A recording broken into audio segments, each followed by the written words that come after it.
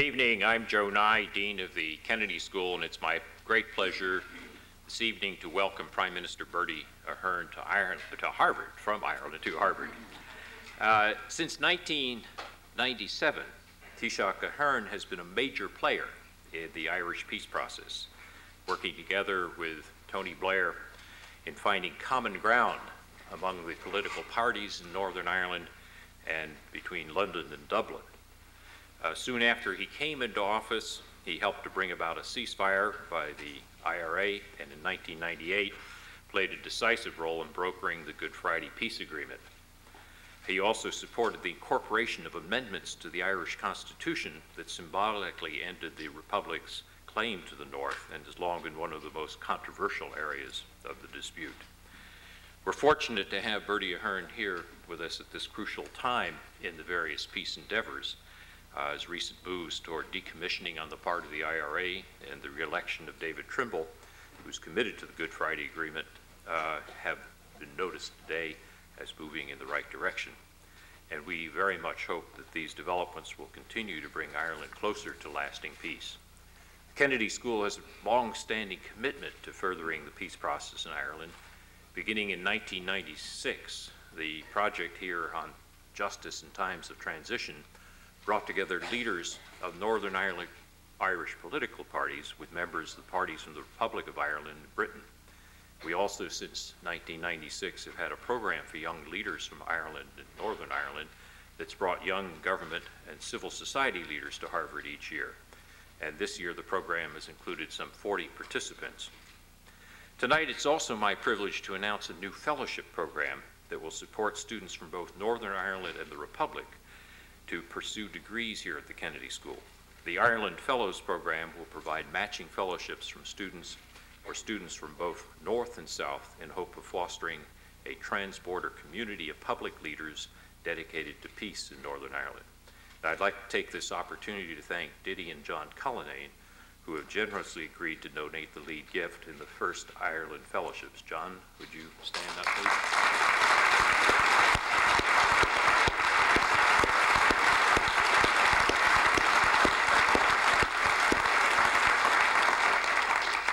We hope that this fellowship program will combine the idealism and the common sense pragmatism that have characterized the Ahern leadership in Ireland. And with that, please join me in welcoming Prime Minister Taoiseach Bertie Ahern.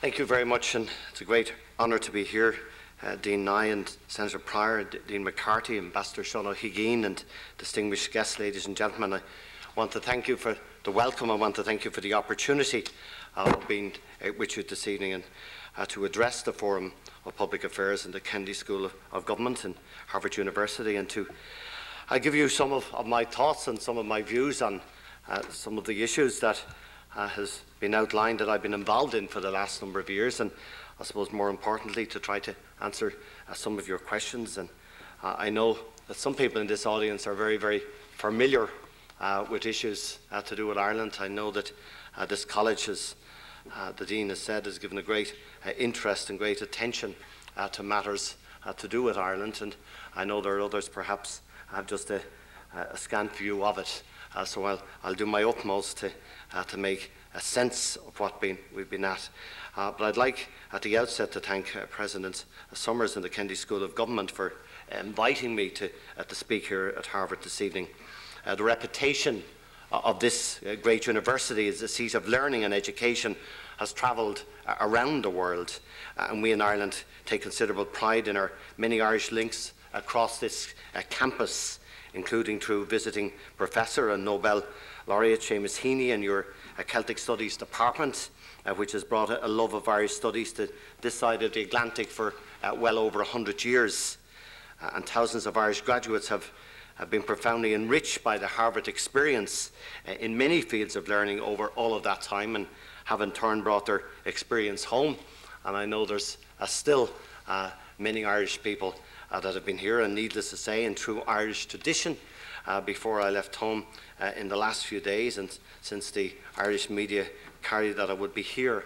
Uh, I think I've got nearly all the parents of every Irish student here to tell me to send their best wishes. So whether you're here or not tonight, uh, I've sent my best wishes and I can gladly tell everyone in Ireland I've done my piece. So I think those links, uh, ladies and gentlemen, are, are, not confined, of course, to the, to the classroom, uh, but reach across the, the sports fields uh, too. No doubt the fact that Harvard's football team is captained by Brendan Fitzgerald, uh, coached by Tim Murphy, is having a good effect on your current season. Uh, I'd also like to take the opportunity to congratulate Harvard on the important new initiative, uh, the Ireland Fellows Programme announced tonight.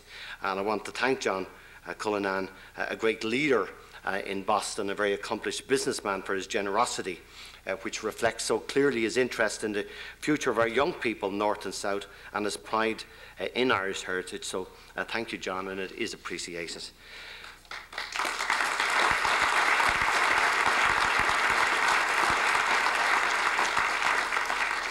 Dean, prior to my departure from Ireland, I, I read uh, that no less a figure of President John Adams was somewhat intimidated uh, by the prospect of the Harvard entrance exam, uh, something uh, that has clearly been overcome uh, by all of you here. But he recalled that, and I quote, he was so terrified at the, the thought of introducing himself to the president and fellows of the college, and I'm sure the dean too. Uh, I had first resolved to return home, but for seeing the grief of my father, I roused myself and collected resolution uh, enough to proceed, end of quote. Therefore, Dean, uh, I appreciate all the more your kind introduction uh, and opportunity of being with you. I'm especially pleased to be here at the, the Kennedy School of Government, where uh, so many fine leaders in, in public service and many future leaders uh, among us this evening have chosen to dedicate themselves to uh, this invaluable work because of the, the legacy and the ideals expressed by the former president. And I know that in the Kennedy School that mission has been nurtured and strengthened uh, over many years. It's uh, very familiar to us in, in Ireland what has, has happened, and I've had opportunity at many, many functions uh, in the 25 years uh, almost that uh, I've been a member of the Irish Parliament, of uh, meeting people connected and listening to people connected with the Kennedy School.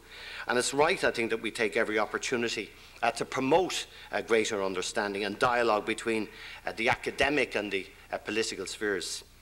At such a challenging and uncertain time, Dean, it's more important than ever to have such a, an inspiring example uh, to guide our way. Uh, Ireland and the United States uh, share a very long and uh, close history, uh, and much of it is, revolving around this great state of Massachusetts uh, in the at least three centuries since the Irish first began arriving here. Uh, we have both witnessed extraordinary change and have grown accustomed to a world where the uh, rapid pace of development uh, constantly uh, alters uh, the way we live. Uh, there was a time that I used to think that everybody from Ireland just came to Massachusetts uh, and that nobody ever went uh, anywhere else because there were so many uh, connections. But as you grow older in Ireland, you realise that it's just most people have a connection with Massachusetts. But until September the 11th, ladies and gentlemen, I think we uh, almost took progress uh, for granted. Uh, on that morning, a tragedy of unspeakable proportions uh, stopped us uh, in our tracks, and in the space uh, of just a, a few short but terrifying hours, it changed the world as we knew it forever. And, and that day, in the words of President Bush, night fell on a different world. And as I said to the Dean and his colleagues earlier on, we have to keep on working and, and moving, but at the same time, I understand uh, only too well how difficult it is and also understand uh, that that uh, will take a considerable time. Uh, we in Ireland, like everywhere else uh, in the world, watched uh, with horror as the tragedy unfolded. In Ireland, in Boston, in New England, America, and around the world, the sense of shock and loss is still profound and will remain so, I think, for a long time. But the National Day of Mourning in Ireland on September 14th, which for uh, those of you who, who know Ireland was uh, something that was quite unbelievable because the country just stopped. Uh, nobody, uh, nobody worked that day. Even the emergency services that normally would work on uh, other national holidays stopped. And I think because people just attempted to give as best they could an expression to the enormous outpouring of our grief and to articulate our sympathy, our support and solidarity uh, with you, with our friends and our family in the United States and your loss is ours. And uh, we mourn as you do, and uh, we'll continue uh, to uh, Uh, watch closely uh, all of the events. But I think just tonight, uh, without uh, saying it too many times, uh, our heart goes out for all of those people who lost their lives and for just the thousands and thousands and thousands of, of families and bereaved people all over the United States who have to continue living this, not just for a period, but forever. Uh, we utterly condemn these appalling terrorist acts. We stand with you and with the rest of the international community in asserting that those who perpetrated them uh, cannot be allowed to succeed. We must all work together to eradicate this scourge, uh, and governments everywhere must uh, dedicate their total commitment uh, to this task. international solidarity, Dean, in the fight against terrorism is, is crucial at this time, and we firmly believe that the United Nations uh, has a pivotal role to play in achieving this. Uh, Ireland was elected to the UN Security Council uh, for 2001 and 2002. We took seat, our seat in January last, and the Security Council acted swiftly and uh, decisively in the immediate aftermath of September 11th. And during the month of October, uh, following the attacks and directly following the attacks, uh, Ireland have held the presidency of the Security Council, uh, and we have been deeply engaged as a small country in uh, helping to shape the Council's response uh, to the atrocities. Our position has been steadfast and clear. Uh, there's no place for uh, terrorism in the modern world, and uh, we have just been uh, honoured, but not the way we wanted it to be, able to play a significant role as President of the Security Council, and we'll continue to play that role away from the Presidency, but as members of the Security Council into and up to the end of next year, the end of next year. In compliance, Dean, with UN Resolution 1368, uh, we must do everything in our power to bring those who perpetrated these vile acts to justice. Uh, we must rid the world forever of such attacks. We must put permanent barriers in place across the uh, entire international community, which will comprehensively put an end to uh, terrorism and its capacity to operate. On the Security Council, we have overseen the establishment of the committee uh, to set up and monitor the implementation of Resolution 1373, uh, governing this work. And finally, as uh, countless UN resolutions as yet unimplemented confirm, we must address the uh, underlying causes of conflict and tensions and address uh, those issues which terrorists exploit uh, for their own ends. The, the countries participating in the military actions now underway in response to Afghanistan rightly uh, came to the Security Council to outline their course of action. And during October, uh, we arranged for the Council to focus on the situation in Afghanistan at two levels on the humanitarian needs of the people and the urgency of putting a political settlement in place in which the United Nations must play a key part, part and key role. And your President said yesterday he looks to the United Nations to, to play that role. And as far as the humanitarian needs are concerned, I believe that all of us in the international community uh, share the same genuine concerns, and every effort is being made to respond to the real needs the, of the ordinary people in Afghanistan, and particularly as, as winter uh, fast approaches. And like the United States, Ireland has made a, a renewed bilateral commitment to helping the vulnerable people of that country with their humanitarian needs, uh, particularly uh, as we head, in, head into these winter uh, months that are ahead. And uh, we all, I think, have known, have seen the kind of weather, if we were not familiar with it before, that Afghans suffers, Afghanistan suffers, the droughts of the summer and the ferocious uh, hard winters. So the humanitarian situation will, of course, uh, only be properly resolved in the context of a, a political settlement, which is a prerequisite for uh, long-term peace and stability there. Uh, the United Nations Secretary General's Special Representative is currently engaged in trying to find a comprehensive solution to that crisis, and we're working with him uh, in this effort. Obviously, that's going to take time. Obviously, uh, it's going to take a lot of patience and work, but it is important as the military action uh, goes ahead and rightly goes ahead that we build on the humanitarian issues and build on the uh, political initiatives as well. But in the words of President Kennedy, uh, peace does not rest in the charters and covenants alone. It lies in the hearts and minds of, of all people, as he said. Uh, and enduring peace and stability will take a long time to establish, but a strong democratic process is the only sustainable way uh, to end support for those who use violence to achieve their objectives. From our own experience uh, on the road to peace in Northern Ireland, uh, it's shown us that it's ultimately the power of uh, democratic politics and policies that has the capacity to address the underlying causes of, of conflict and division. Uh, for over 30 years, uh, 30 consecutive uh, difficult years, the people of Northern Ireland endured a, a bewildered, bewildering cycle of terror, uh, of violence, of loss uh, for many years now, and indeed, with the ongoing support and encouragement of our friends here in the United States, we have worked closely with the British government, with the political parties in Northern Ireland to fulfil the, the political vacuum with solid and inclusive democratic structures which could attract the support of all the people there, no matter what their persuasion, regardless whether they were uh, nationalists, uh, were Republicans, there were loyalists, or, or uh, were uh, unionist uh, persuasion. And we've worked hard to bring ceasefires about and to put a process of negotiation in place.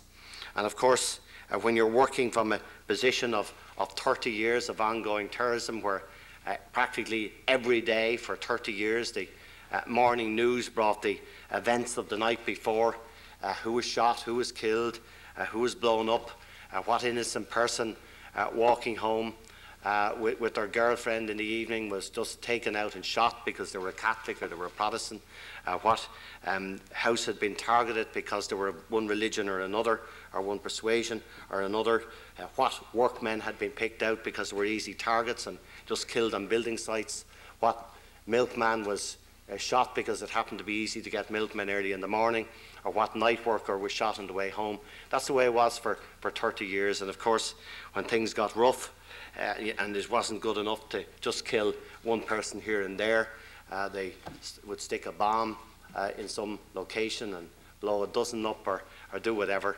Um, and uh, that just went on for, for 30 years, and, and the cycle would go on and on, and the worse it would get.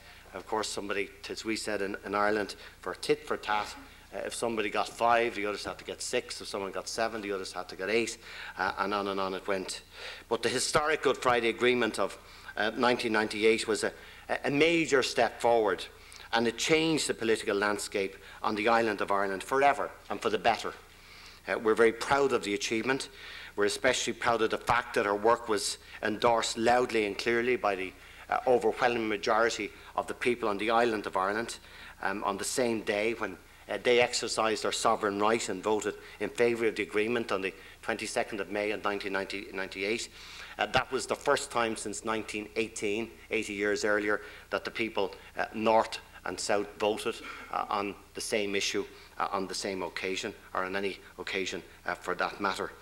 Um, the, in drafting the Good Friday Agreement, Dean, under the chairmanship of, of George Mitchell, uh, we sought to construct a, a model for the future which would tolerate, appreciate, and accommodate difference. Because in Northern Ireland, there's just an enormous amount of difference. Difference not only of 30 years of violence, but difference of, of hundreds of years um, of uh, community relationships going the wrong direction. And we sought to replace violence and sterile polarisation uh, with political engagement, uh, with reconciliation, and with uh, reproachment, and to create a context in which uh, trust, mutual respect, and equality uh, could flourish. Uh, age old concepts of victory and defeat had to be replaced by unfamiliar processes of, of dialogue and compromise. Because if you work on the basis of negotiating for victory or defeat, you haven't got a hope. Uh, and all of those who signed the agreement signed up uh, on the, the democratic process, reaffirming their total and absolute commitments to resolving differences to exclusively democratic means. Uh, and on this fundamental principle, ladies and gentlemen, of the exclusive use of democratic processes and the rejection of violence, there was no equivocation, uh, no room for discussion, and no place for compromise. Uh, we were absolutely clear that the democratic processes and the rejection of violence uh, had to be at the order of the day. Otherwise, you could not make uh, democracy work or couldn't even start to try to plan uh, to have a democratic process. So, in creating uh, a fresh start, we addressed uh, many conflicting fundamental issues and assumptions, and we tried to accommodate uh, the different strands of the, the complex relationships that underlie the conflict down through the years. We agreed that there would be no change to the status of Northern Ireland without the uh, consent of the majority there. As the Dean has said, that was a, a difficult thing for us to do. Uh, I had to spend hours on end uh, with my own party, not to mind, in the campaign to sell the agreement, to explain to people uh, why we needed to do that, uh, to explain to people that we had to uh, trust, we had to move forward, and we had to make initiatives from the Irish government side if we were going to make uh, progress on the other side. In the south, we changed our constitution to reflect this, removing, as those of you are familiar, removing Articles 2 and 3 uh, and reinserting uh, new clauses. But we also agreed that change was possible and that if a majority voted in the future for a united Ireland, the governments would give effect to their wishes. So nobody was giving up their belief on what they wanted to see uh, in the future, but they were accepting that it could only be done on the basis of consent and only could be done by the democratic wishes of the people in Northern Ireland alone. The British government also changed its constitutional legislation to reflect the primacy of the people's wishes in matters of sovereignty. We created democratically elected, accountable institutions in Northern Ireland to respond to the needs of the people, uh, where all sides could work together positively and pragmatically, delivering tangible evidence that democratic policies work. We developed North-South institutions uh, to reflect the, and accommodate the vast reservoir of goodwill and positive cooperations that exists on the island of Ireland, and to reflect uh, the All-Ireland dimension, uh, working together uh, on issues uh, that are not just the burning political issues of the day, but working on issues of tourism, a small island, why we couldn't work together to market ourselves as, for tourism as an All-Ireland entity, working on cooperation on electricity, on, on gas, on infrastructure of other kinds, uh, working on uh, cooperation in education and in health. Uh, so issues where uh, it made no sense and was not of great political hostility to share and work together. And they were the, the, kind of areas that we spelt out for North-South cooperation. We created a British-Irish Council to reflect the, the broader context of relationship within the islands of Great Britain and Ireland uh, to try to change the attitude and the atmosphere uh, where it was us and them, uh, where uh, Ireland and Britain uh, all the time seemed to be at each other's throats, that where we could actually sit down and discuss things that affected us as, as close neighbours, and that we could come to mutual understandings and issues. We've talked about issues on, on drugs and issues about our role in Europe and how the uh, our fishery policies and other issues can, can work into the future. That's very much at the beginning, but we've spelt out uh, issues where we can, we can work in a non-legalistic way, working as friends uh, and where we can cooperate together. Uh, since then, Dean, we've been working together to ensure that the agreement can achieve its promise, uh, that it can be allowed to work comprehensively. And as many uh, friends in the United States and successive administrations who have supported us throughout these efforts know only too well it's not always been easy. After the turmoil of so many centuries, it could not possibly have been otherwise. Uh, but we have persevered because we know that we're on the right path at last. Uh, people from outside of Ireland and people who are not too familiar with Ireland always ask me, you know, when did this problem start? Was it 30 years ago?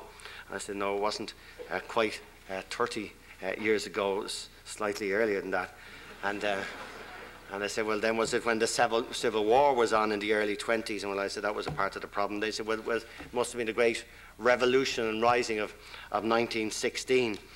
And well, it wasn't quite that time either. And it depends how long you want to go back. So in actual fact, it's whenever you want to go to. Uh, but it has been a, a, long, long process of 1641, 1798. And there's one thing uh, in Ireland that they have very, very good memories for, our history, so it's better not to go back uh, too far. Um, so uh, I, I, tend to say now um, it all started with the Good Friday Agreement. We try and move forward. Uh, uh and let's try and start from somewhere.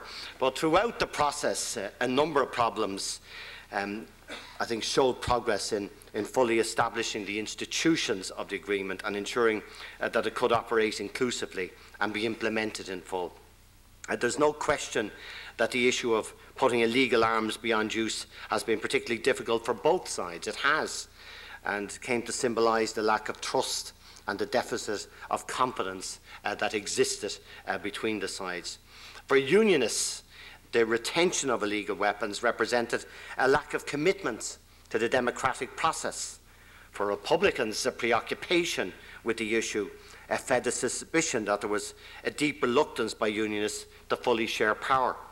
And whatever the rights and wrongs, because we could be here till tomorrow night arguing the rights and wrongs, but the reality was uh, that the failure to put arms beyond use became so entangled with the issue of self-government that the fledging institutions of democracy had to struggle to survive.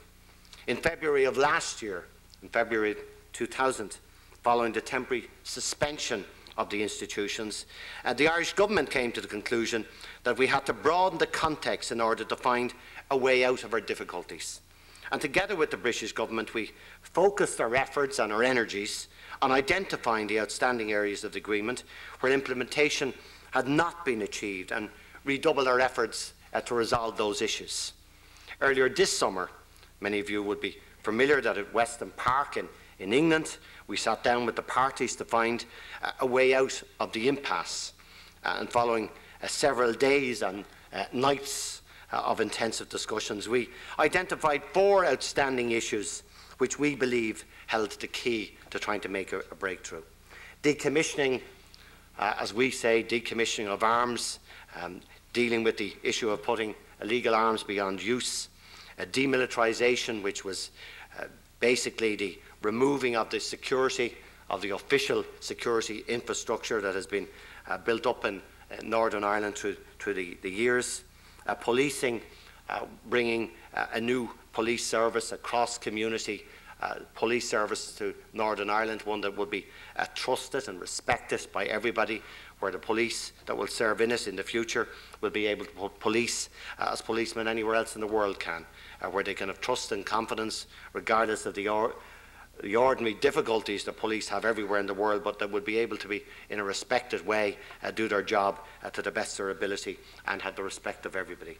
And the stability of the institutions, so that we wouldn't have this stop-start on off uh, institutions for one reason or another not working as they were planned in the Good Friday Agreement. And since the, party them, the parties themselves were unable to reach full agreement, uh, the two governments put a package of proposals to them on the 1st of August. On the 23rd of October, just gone, uh, the IRA announced that it had started putting its weapons, including arms, ammunition, and explosives, uh, completely uh, beyond use. Much as has been said. I think it's only fair uh, that I say that that might have never happened um, if, if the events of the September the 11th had not happened. Uh, I, I, just want to be quite honest and frank about that. I, I don't uh, believe that, quite frankly. Uh, I, I, am not one who believes that. The last meeting I had uh, on the 11th of September, uh, as I heard of the, uh, the terrible events unfolding early afternoon in Ireland, Martin McGuinness and Gerry Adams were leaving The two leaders of the Republic movement were leaving my office, uh, and it, I was quite satisfied that we were moving down uh, this, this path. Uh, perhaps it happened uh, some way quicker than it would have, um, and that is a matter of debate or argument. I'm not saying whether it would or not, uh, but I do believe uh, that these things would have, would have moved on anyway. So, but on the 23rd of October, the IRA announced that it had started putting its weapons, including arms and explosives and ammunition, completely beyond use, and that was a major, major breakthrough the independent international body established by the two governments and uh, chaired by uh, Canadian General John de Chastelain to oversee this highly sensitive issue, recognised the significance of this uh, truly uh, unprecedented progress in the resolutions of the arms issue. Uh, this historic move uh, breaks a logjam and we believe will now allow the peace process to progress as we had envisaged that it should. We congratulate all those involved, including the Sinn Féin party, in making this progress possible. Uh, others, particularly those paramilitary organisations on both sides of the divide who continue to use violence to articulate their views, including those who intimidate and threaten innocent children on their way to school, uh, must now respond to this new opportunity. And that comment is related to an issue, for those of you who are not familiar with a school in West Belfast, the Ardoyne, uh, where 11 weeks now uh, every morning, uh, the children gather, uh, Catholic children gather at the end of the street uh, to go uh, to their school. Uh, their primary children under 11. Uh, they, uh, parents, uh, normally they're their mothers, but also so some of their fathers. they have to walk through a barrage of sectarian and hostility every day. they they play before they start, they cry through the process, have their days in school, and in the evening, uh, the same barrage of insults happens. Uh, and of course, uh, there are uh, lots of solutions where they could go other ways. They couldn't go. To, they might not go to school. They could close down the school. Uh, but in Northern Ireland, people do not do that. Uh, people will stand for what they believe in, and they go through this hostility. And really, uh, it's just an unacceptable way if you have an argument to fight or if you have an issue to fight or a cause to fight, which is justifiable for people to fight issues, you do not do it on the back of, of, children under 10 years of age uh, and feel that you're fighting any just cause. So uh, I've been continually reiterating that this issue uh, has to be resolved and hopefully we'll move to do that fairly soon.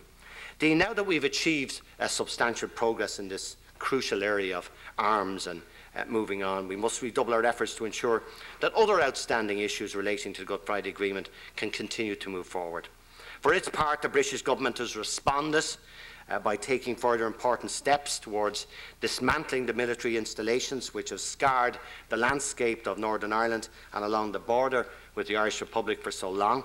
Uh, this is a powerful demonstration to people on the ground that given the chance, uh, politics can and uh, will deliver positive change, and I welcome that. I welcome the fact that Prime Minister Blair, uh, Secretary of State John Reid, uh, moved so quickly to start dismantling uh, their security infrastructure. The British government has promised a rolling process of demilitarisation, leading ultimately to a situation where normal levels of security prevail. It's a day uh, we all look forward to in Ireland. And as students of government, you all know that political institutions represent uh, the heart of the democratic process and seeing them open for business and fully functioning is vital to the future stability of the agreement. The devolved administration and every political party uh, will need to reaffirm their commitment uh, to playing a full and generous part and to ensuring that all others involved are enabled to do likewise. In short, it is through the full and inclusive operation of the institutions that the future of a new society that we are working to achieve uh, will be secured and sustained for the generations ahead. Policing, as I uh, briefly said, is a, is a crucially sensitive interface between uh, people and the state. And the issue of accountable policing, which has the full confidence of the community it serves, is, of course, at the core of any democracy. If a police service cannot be trusted, if it, if it cannot work, if it cannot function, uh, then it can't serve its people. And then when that happens, people look to others to take that role, and you go into the business of paramilitaries and people taking the, their, the, the law into their own hands. And that's what we've had in Northern Ireland uh, for a long time past. And in Northern Ireland, still struggling with its complex and difficult past, it has been widely recognised from the start that a new beginning to policing is vital to, to gain the trust and confidence of all parts of the community. And this was fully identified uh, in the Good Friday Agreement and the negotiations that went on from September 1997 to uh, Good Friday of 1998. And the subsequent Patten report, Chris Patten, many of you uh, know Chris Patten, who was a, a, member of a Tory government and, uh, and then uh, the man who handled the Hong Kong situation and independence uh, and the transfer back to, to, to, China. he gave an enormous amount of his time to his eternal credit. Wouldn't be normal that a member of, of my party and my tradition would be uh, praising uh, a, a high-ranking Tory, uh, but I have to say I take my hat off to Chris Patten. I have great, great regard for Chris Patten. He did a, a wonderful uh, job in the Patten report, and that's why we've been so committed to it, its implementation. It provided the detailed route map to achieve the objective of an acceptable uh, police force. Uh, we believe that the all-important process of delivering this new start to policing is now underway. And last weekend, um, the RUC, uh, as we've known it, has, has, moved on now to the new Police Service of Northern Ireland. That's the name, Police Service of Northern Ireland. It came into being with representatives from the nationalist and unionist communities making up its board and its functioning. In recent days, new recruits comprising members in equal measure uh, from both communities have joined the Police Service of Northern Ireland. The Police Board will inevitably take time to fully establish itself, but it's vitally important work in making the police service uh, fully accountable to all the community uh, is beginning, and I do believe that it will work. The Oversight Commissioner, Tom Considine, uh, the former Chief of Police of New York State, will publish a review uh, a year into the new agreements, and we will uh, be able to, to see how matters are proceeding and point to, uh, I think, the need for change and ensuring that the Patten report is fully implemented. Uh, all parts of the community must be involved and enabled to play their full part in future policing arrangements in Northern Ireland. And I hope that in time, uh, Sinn Féin and their community who have shown such leadership in other areas uh, will also do so. And I think they will when all of the aspects that have been negotiated will be implemented.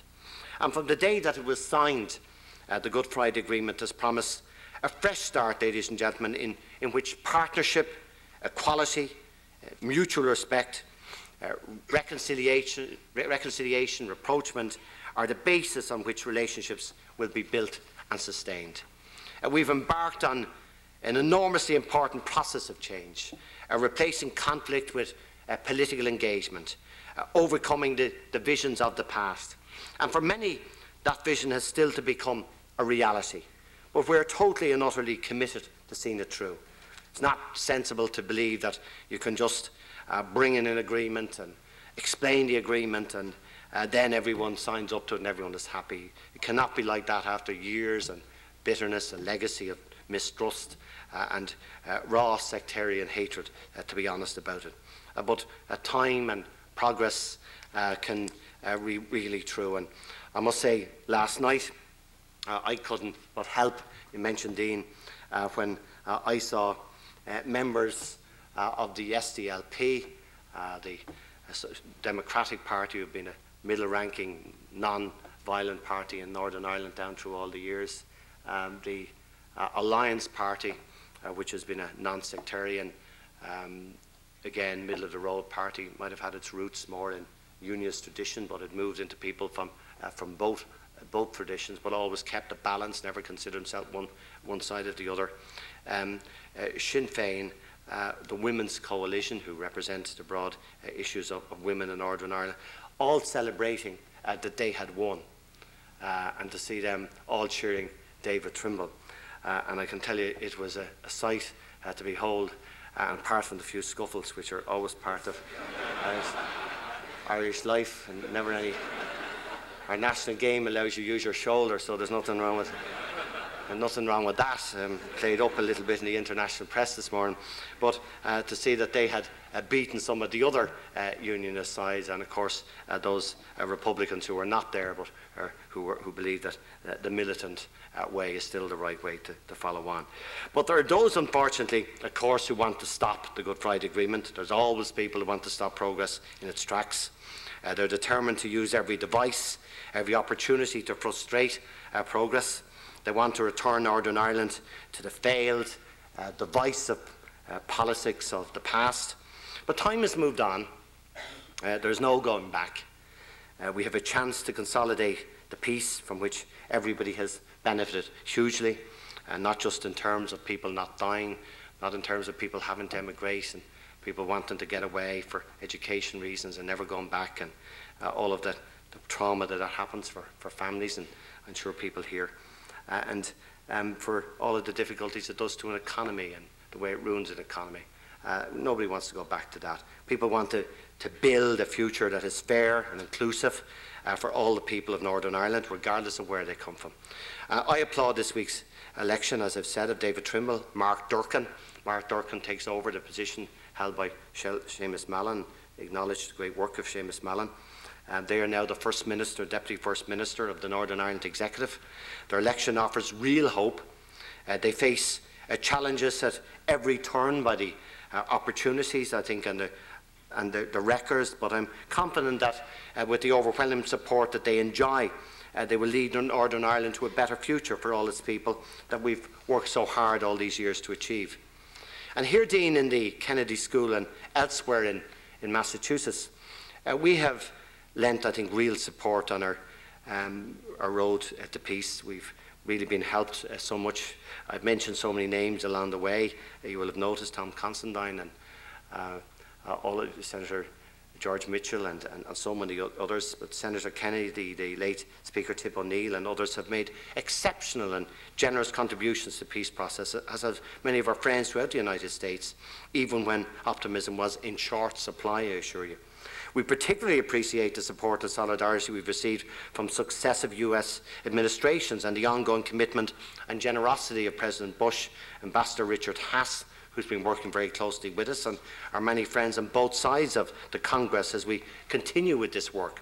We've got extraordinary um, support um, from our friends, uh, both in, in education and in commerce and trade uh, and in politics uh, right across the way.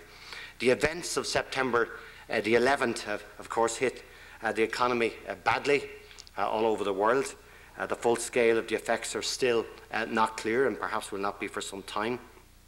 As our, our, largest trading partner, we feel those effects as you do at a time when the working lives of Irish and American people are more closely integrated than they ever have been before. Uh, America has enjoyed tremendous expansion over the last decade, and we in Ireland have participated in this too, uh, very much working with you, and your success has been uh, certainly our success. So it is right that we face the current uh, challenges together, and we will. Our economy is sound, and we're constantly open to uh, investment and to uh, being the best place uh, to do business in Europe. And I think many businesses from Massachusetts have, have uh, followed that and been very helpful to us in the process. Ireland's membership of the European Union is fundamental to our national interests and to our people's peace and prosperity going forward. In that context, the, the quality of trade, uh, political and economic relations between US and Europe is a critical success factor for, uh, for us. Uh, I want Ireland to continue to be at the leading edge of the excellent relationships between the European Union and the US. Uh, we worked hard this very year uh, to even make that closer and closer. We cannot allow occasional difficulties in any specific area to obscure the benefits uh, and importance of the transatlantic relationship between the European Union and America. Uh, each conflict has its own unique uh, origins, issues and solutions. Uh, and this great nation rose above the conflict and visions of its day. And at this time of year, when we remember the millions of people who lost their lives in World War I, we're reminded of the great achievements of the European Union in bringing a peace to Europe, a precious privilege uh, that no previous generation in Europe has been able to uh, enjoy. And at this challenging time, ladies and gentlemen, I'm glad to be able to bring you a message of hope in the, the peace process in, in Ireland. We understand the importance of this in the, the midst of a, a difficult international situation when pressing problems requiring the direct attention of the United States are engaging uh, so much attention. Uh, we've been very closely involved in Ireland in the Middle East process as well. We've obviously had a lot of dealings as well with our colleagues in, in Africa, where so many Irish missionaries, both lay and uh, religious, are, are involved in. And uh, we take a, a, particular interest in, in these issues. And uh, we almost, I think, work together to try to, uh, to find solutions. Uh, tomorrow, I look forward, Dean, to briefing President Bush on developments and to thanking him for his and his unstinting support, even at a time uh, of, of, trauma in your own country, where he, he, through uh, Ambassador Haass, has continued to help us through September, October, uh, even with all of the difficulties. We, in turn, look forward to working with the United States in our capacity, and not only in the European Union, not only is it a very friendly country with an enormous contacts with the United States, uh, but in our role in the United Nations, where we believe we can play a very significant role and believe that we are. And whatever challenges uh, we may face uh, in the world around us, our relationship and shared belief, ladies and gentlemen, in the strength and values uh, of democracy, our common goal of eradicating evil wherever and whenever it's manifested, uh, will not change. Thank you.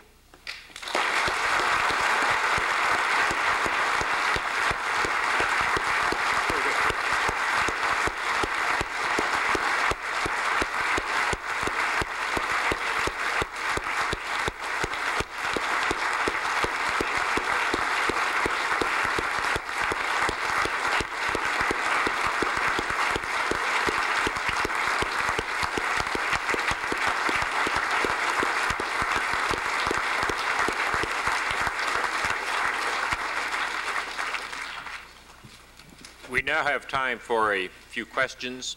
there are two microphones on the floor here and two halfway up to the balcony.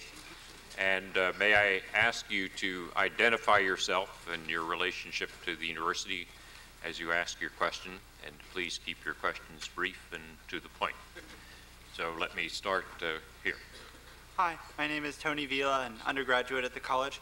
I was wondering if you had any comments on the participation of the European Union in the conflict and more what this might say about what the European Union's responsibility regarding other ethnic conflicts in Central Europe is.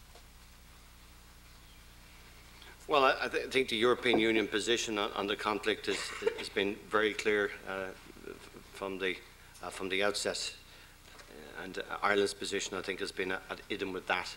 Um, the European Union's position is that um, Article 51 uh, of, of, the United Nations Charter uh, allows the United States to engage in self-defense, uh, that uh, the rest of the international community has an obligation to defeat terrorism uh, and to work with it. Uh, and I think this is a, an experience that brings us all together uh, to do that, to, to, to, try and do our utmost to eradicate uh, terrorism and, and, to work together to do that.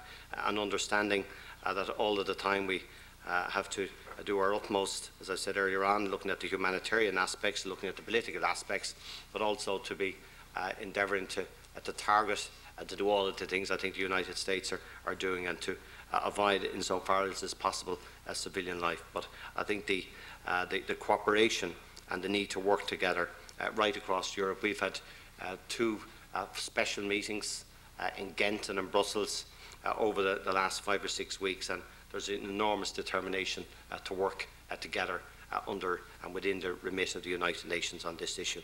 How it affects other um, disputes, I, I, would hope that conflict everywhere perhaps will benefit from the, the terrible uh, deeds that, that, have happened because I think there's an opportunity for people perhaps to look at other conflicts and see how uh, one conflict is, is related to, a, to another and to see uh, how people can help. I had an opportunity uh, recently of meeting President Arafat.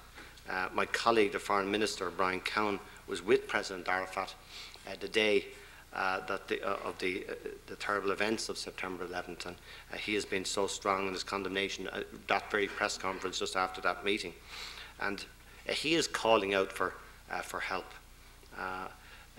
and I, I know Israel have uh, there, there, difficulties, and, and, I know that Shimon Peres uh, is, is, endeavouring to, uh, to work together in this present day uh, to try to, to, to, help to find, um, with Mr. Sharon, uh, some resolutions. But I think we, we have to try and find uh, resolutions to these issues. These people do not want to be engaged as a leadership, they want to lead people away from these things. So I just hope in that conflict, and so many others, in our presidency of in the month of October, in, in, spite of all that was happening, you just look at a number of conflicts across the world.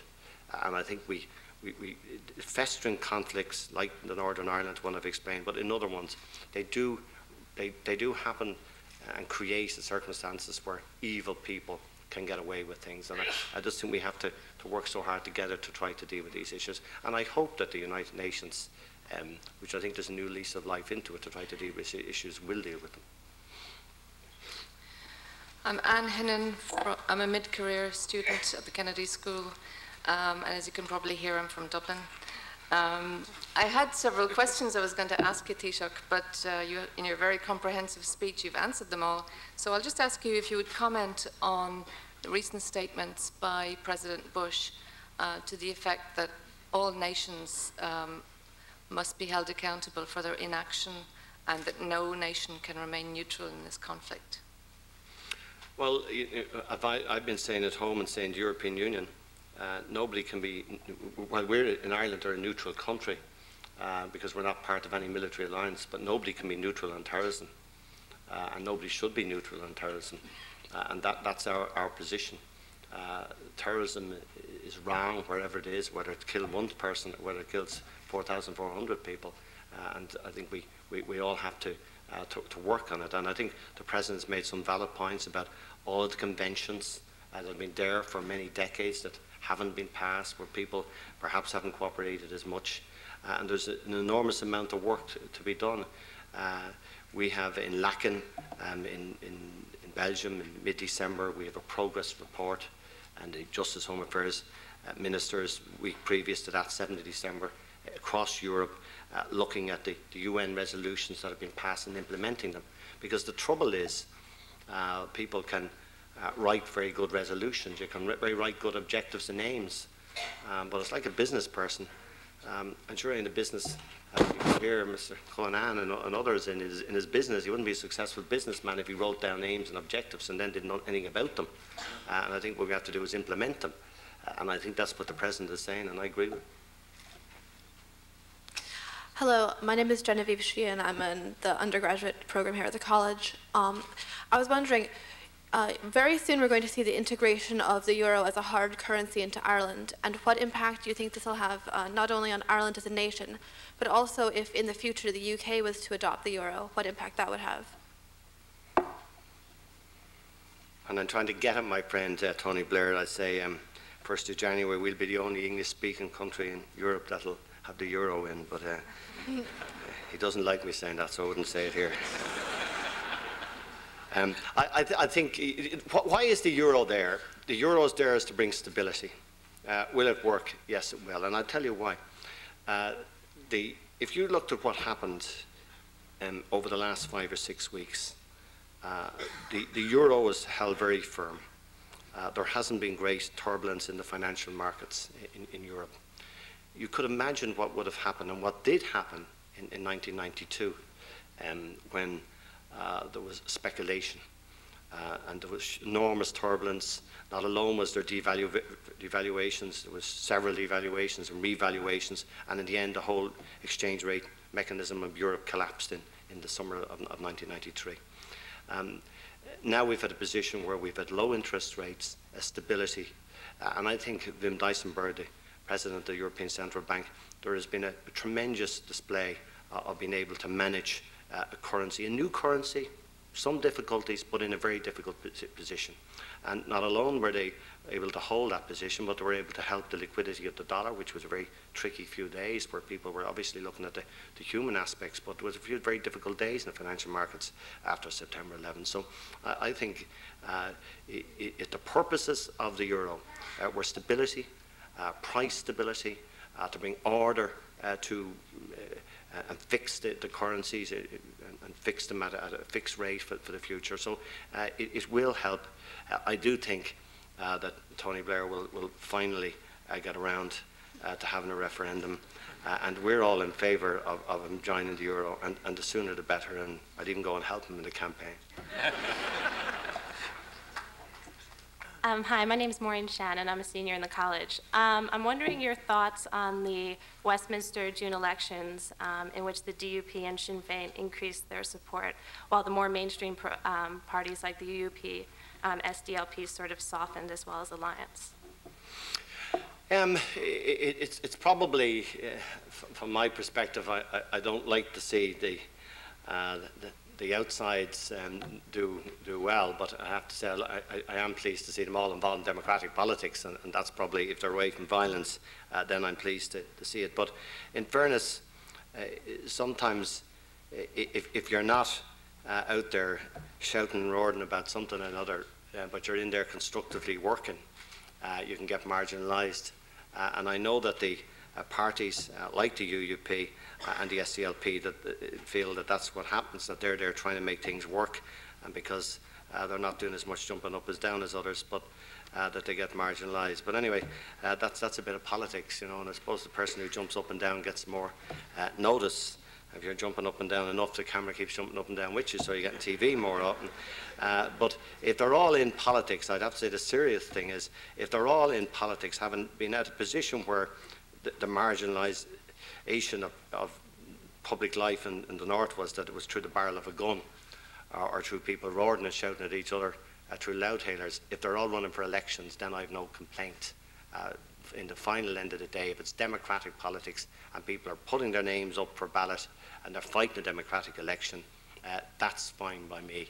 And regardless who wins, I think you have to accept it because that's better than the alternative. My name is John Fitzgerald. I live in West Groton. I am a member of the general public. the Good Friday Agreement of 1998 calls for the release of prisoners who were incarcerated for politically motivated offenses, which occurred prior to its formal approval. In the six counties, this stipulation has been met. In the South, it has not. I speak of the Castlerea Five. They were convicted of offenses which occurred on June 7th, 1996, and they remain in prison. Why have the Castlerea Five not been released, and when will they be released? Uh, well, John, to, to, be frank, I hope not for a long time. Um,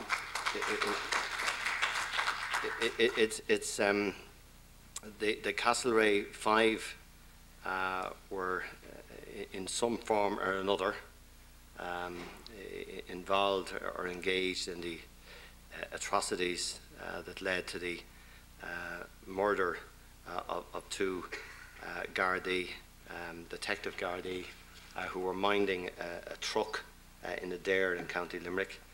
Um, there were the, the court actions of this did not prove them guilty of murder.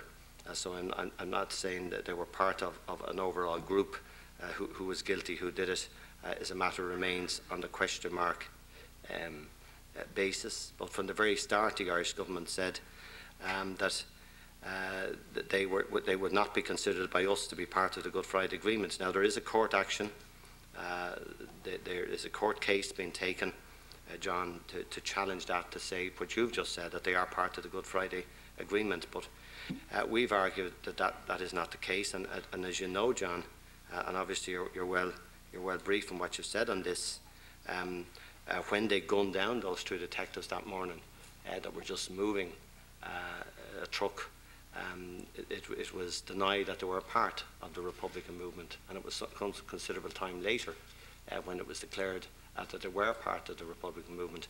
Now we have been quite uh, lenient on them in that they're effectively in a semi-open prison. they're not being treated as prisoners would have been in the past. But for us to release them uh, would, would not, not, be something that, that, that we would uh, uh, likely do for the foreseeable future. Yes. Good evening. my name is Amit Borde. I'm a second year student here at the Kennedy School. You mentioned, uh, concluded your speech by saying how United Nations can play an important role, and Ireland itself has been at the helm of affairs at the Security Council for a while. Uh, my question to you is, uh, do you think, um, as uh, leading the country which heads the Security Council, that the United States should have gone first to the Security Council for a resolution uh, before starting the military attacks? Uh, no, uh, I, I, don't, because they were, they were quite entitled uh, under uh, Article 51 of the UN Charter, based, and it is, it's, it's, it's, very clear, based on, on self-defense, to take the action that they, they did take. Uh, but they, they did go to the, to the Security Council um, at our behest uh, on the 7th of, of, exactly a month today, on, on the 7th of October, uh, to outline the, the action. We, we appreciated uh, that they did that. Um, but they were clearly within the, the UN um, mandate. Uh, they did not need a, a separate resolution. And anyway, Resolution 1368 um, well covers the, the, action not only in, in Afghanistan, uh, but wherever uh, they would believe and had information that they could substantiate where terrorism or the threat of terrorism was against. Now they haven't, they haven't endeavoured to extend that, which I'm glad they haven't. but I mean, they would be still within their entitlement. But in relation to, to, to um, their evidence on Afghanistan, um, it was clearly within um, Article 51. Uh, and I, I, I, do not think, uh, uh, quite frankly, I think a lot of the world who perhaps uh, would not be as pro-American uh, as I would, or perhaps been Uh, we've been hoping for some other action to happen. Uh, they were very responsible, they were very slow, I think they were very uh, careful in what way they dealt with it. So uh, I think nobody in, in the Security Council uh, has any difficulty with the actions they've taken. Hi, my name is Nick Smith, and I'm a Dublin born first year at the college. My question is what are the new obstacles to the peace process? And are the real, real IRA a threat? Um, well, I think the obstacles, more or less what I said, is just to get the trust and momentum into it, and, and I believe that we can get that up. The real IRA, the second part of your question, the real IRA, are clearly a threat. Uh, they ha uh, had a, a, bomb in, in Birmingham uh, last Saturday night. They've had a number of bombs this summer uh, in the United Kingdom. As, also, they've attempted uh, actions in, in, in, in, Northern Ireland. Uh, they've been thwarted so far, but it, it is a, a concern. Uh, they're not a big organisation, but they, they clearly uh, have uh, the capabilities to carry out atrocities as, as they did previously in Omagh. the biggest atrocity of all the 30 years was back a few years ago in, in Omagh. So that continues to be a worry for us. but I think everybody accept themselves and the continuity IRA and some other maybe individuals uh, and some of the loyalist elements uh, who are engaged in, in, in violence as well. Uh, they, they, are the threat to it. It's not just Republicans, there, there, there are, there loyalist groups as well. Uh, but there, there is, a, I think, a, a spirit by, by nationalist unionists, uh, certainly a lot of loyalists and Republicans to defeat them. So I think if people work together, people hold their nerves, uh, then we can overcome that. But they are a threat. Uh, Mr. Taoiseach, uh, as you can probably tell from my dulcet tones, I'm from Belfast. Um, welcome. Thank you very much. I enjoyed your speech. I'm a visiting professor here in the law school. Uh, two related questions. First, you've been keen to stress the historical nature of the IRA's move on arms, rightly in my view. Um, how do you think history will judge the calibre of the current Sinn Féin leadership in delivering that? And second, and related point, can you envisage a situation where you will be in government in the Republic with the same leadership? Well, on, on, the first issue, uh, I, I, do acknowledge um, what, what, the, what the IRA did and what the Sinn Féin leadership convinced them to do, because I think that's, that's what happened in, in effect, as, you, have said. Um, they had to uh, persuade them of, of, the benefits of, of, this strategy, and that was not easy. Uh, I know, I think, fairly well uh, the, the story behind all of that, but uh, no need to say any more than it, it, was it's a difficulty and still is difficult because you have to try to carry people with you and uh, it's no good splintering the movement. Uh, I think history will be kind to the to the uh, to Gerry Adams, Martin McGuinness, to the uh, parallel twin leadership of the two of them from all the way back since 1998. they're that long at it. we've worked with them in my party more or less since that time, particularly for the last seven or eight years, and I think they have done a, a good job. Uh, the, their ultimate goal, and certainly the, the, what we would all aspire to, is to see the day where uh, the Sinn Féin leadership uh, can convince uh, the uh, IRA and those associated with it to wrap up totally and, and disband and be out of existence fully and completely. And I think that will change the, the position. Until that happens, um, you, you, could not, uh, in, in the South, uh, under our constitution, uh, deal with Sinn Féin because they still recognise and are associated with the IRA. and, and under our constitution, you can only have one army and one police force. And of course, Sinn Féin at, at, the moment are not in that position. but in fairness to Gerry Adams and, and to Martin McGuinness, they are on record several times, and I think three times this year, of saying that is what they're ultimately working for. Um, my name is Derville McHenry. I'm a senior at Harvard College. Um, I was thinking Ireland is finally getting to the end of a process that's only just beginning in Israel and the Palestinian territories. I was wondering what advice you would have for the Israeli government, both in terms of day to day security operations and an overall peace process. Well, uh, I've had a number of discussions on, on, on this issue um, re recently, and it's hard, it's hard, to put it into a, into a, a few a, few words, but I, I suppose if you have a, a peace process, uh, you have to stick to stick with it. Uh, if I can give you the the best uh, example, I, I recall uh, back in 1993 uh, was a terrible Irish people that are here will remember the a famous bombing in the, uh, of a butcher shop. A butcher shop, so vegetable shop on the Shankill Road. A large number of people, uh, including the bomber, uh, were killed. Now, we had to follow, I think, Israeli strategy. Uh, we would have cut all, all um, means of negotiations and go back to start. Uh, to, to say in a peace process, in my view, don't claim to be an expert, but in my view, having watched all that we've happened, uh, that um, you're, you're all the time you have to preconditions, and if you expect, uh, if I expect the dean who is doing his best to, to control people, uh, that he has to control and stop every single act uh, before I'll talk to him. I just think that's impossible. In our context, we, we, we, would be, we would be back 10 years, not where we are now, if we had to follow that. Uh, I, I just believe it, it is illogical and unworkable. Um, and I don't say that in any critical way, I just don't think it'll work. And I, I, my advice is that you have to build a process and you have to build trust. It, it doesn't mean when you're dealing with somebody in a process that you love them. And normally they never will, actually, in these things. You'll never love them even after a generation. Uh, but at least you have to believe uh, that the process, that the people in it are working. And uh, I, I um, do not know, know uh, Sharon, but I, I, I have um, Shimon Peres uh, and, and, I've met Mr. Arafat. I've, I've, met both of them on a number of occasions. Uh, and I, I, would believe that both of them want to do business, and I think both of them can do business. Uh, and I just hope uh, that they can uh, work to do that. But if you try to solve the security situation all before you start the process, uh, if, if that was the one bit of advice, I, I, if I was here tonight saying to them, I'd appeal to them not to do that because I don't think that would work. Good evening, Taoiseach. Um, my name is Dennis Duggan from Tipperary. Um, I'm just passing through to Harvard tonight.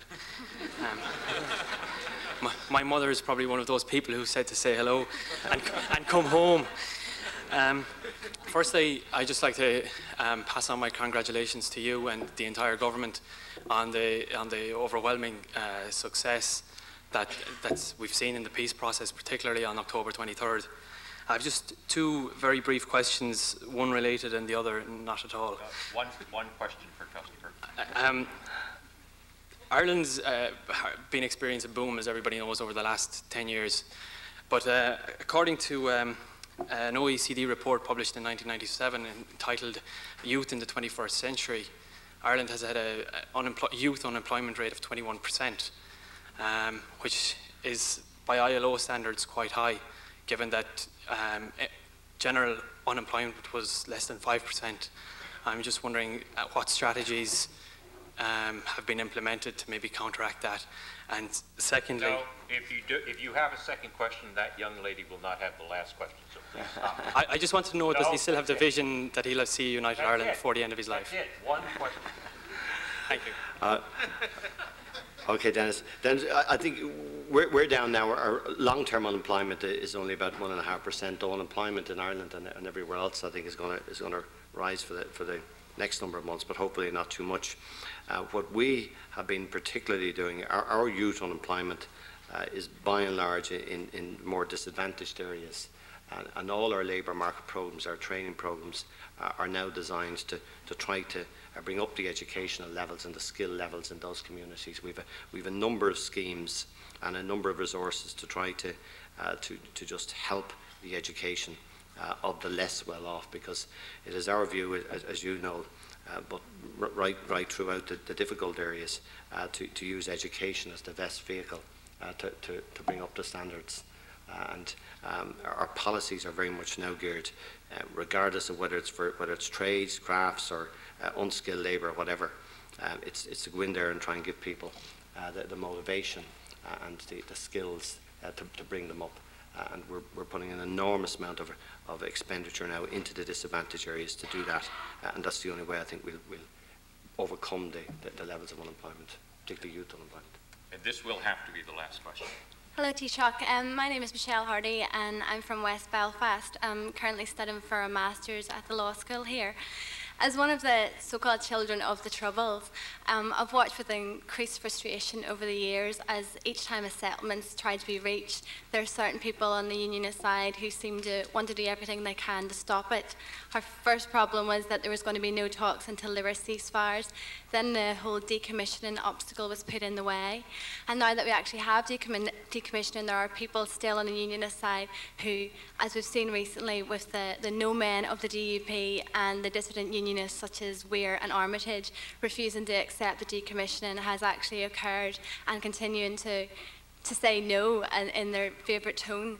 I was wondering if you think that this is just a reflection that no matter what concessions the Republican movement makes or Ireland makes, that these people are never, simply just do not want to share power with nationalists and will not only be happy when it is a government, a Protestant parliament for a Protestant people. Well, I, I think, um, M- M- Michelle, i- i- it's um, actually I think you should go home and say that to them. Actually, you got hit them very well.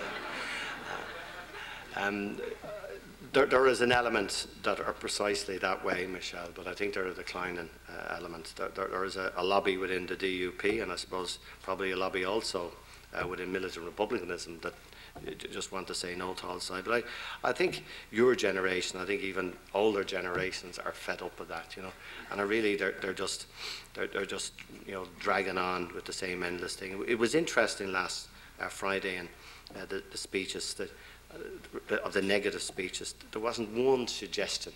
It was just that this won't work, this can't work, this is a bad idea, this is a hopeless idea, we shouldn't be doing it, uh, but never an alternative. And, you know, you can fool some of the people some of the time, but you're not going to fool all the people all the time. And I don't think the people of Northern Ireland are going to be feel, fooled by that negative politics. And particularly if there's cross community. I, I, the, the great thing now is that there's a chance of SDLP, Mark Durkan, uh, Sinn Féin, Gerry Adams, um, David Trimble, and Reg Empey, and working together.